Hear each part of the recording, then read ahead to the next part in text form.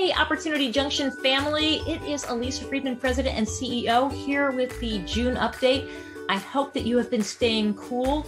It's been a pretty cool month for us as we gear up for the launch of our CNA Certified Nursing Assistant training in Antioch at our Antioch office.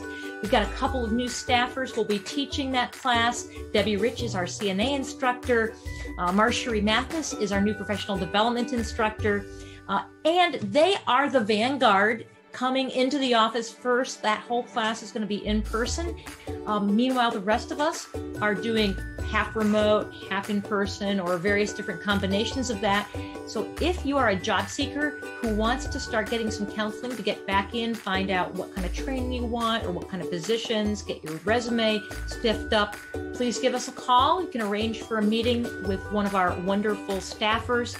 Say our programs are now uh, having an international reach. Our technology center has an ESL student, English second language student from the Dominican Republic, and an Excel student from Australia.